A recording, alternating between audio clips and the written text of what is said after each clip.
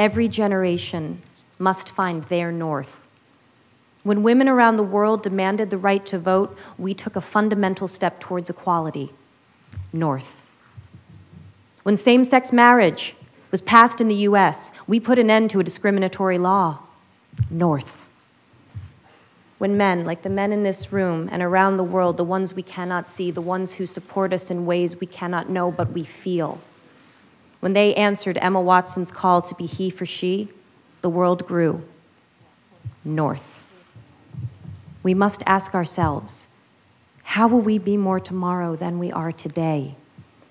The whole world grows when people like you and me take a stand because we know that beyond the idea of how men and women are different, there is a deeper truth that love is love and parents are parents.